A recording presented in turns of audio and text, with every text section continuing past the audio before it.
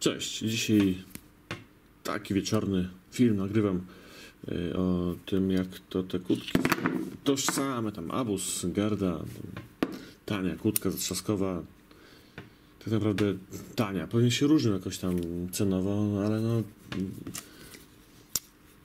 najczęściej to niestety jest jedno i to samo draństwo.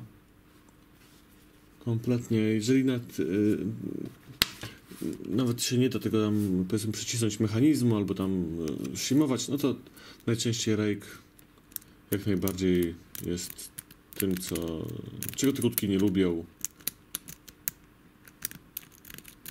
O, Abus nie lubi na pewno. Też nagrałem ten film, żeby nie było, że zawsze krytykuję Gardę, że ona ten jest taka czy owakan, bo wcale tak jakby stanął się, nie, nie, chodzi mi o krytykowanie marki, tylko tyle, że pewnych rozwiązań, które są stosowane, no i w Gardzie akurat w paru filmach moich trochę tam nie poszło dobrze. No ale żeby nie było, no Abus, firma inna, no a porównując ją z, z Gardą, to Braslinem, no jest po prostu tożsama, nawet bym powiedział, że gorsza, bo tutaj Garda, o proszę, na filmie. Nie pozwala sobie na jakieś takie mm, rejk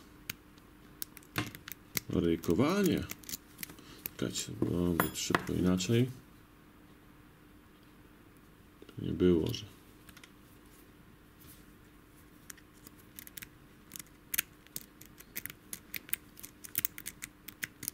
Te kutki y, nie posiadają stopinów y, żadnych y, zabezpieczających. I garda odrobinę dłużej się trzymała. No nie no, na filmie to mega dłużej. No ale to te zamki są podobne, tak? Te kłódki, w tych, te zamki w tych kłódkach są podobne. No dobra, gardy bym powiedział, że jest odrobinę lepszy. Na tym filmie dużo dłużej stawia opór długo dłużej, dużo dłużej, jak to się mówi, dobra, nieważne. Abus natomiast padł bardzo szybko.